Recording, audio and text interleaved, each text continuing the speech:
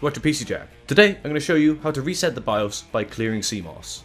So, to clear CMOS, you'll first need to locate the header for clearing CMOS. On this MSI motherboard it's labelled JBAT1, but if you're not sure where to find yours, your motherboard manual should show you the location of this. Once you have located this header, ensure to power off and unplug your system, and then use a screwdriver to bridge the two pins for around 5 to 10 seconds.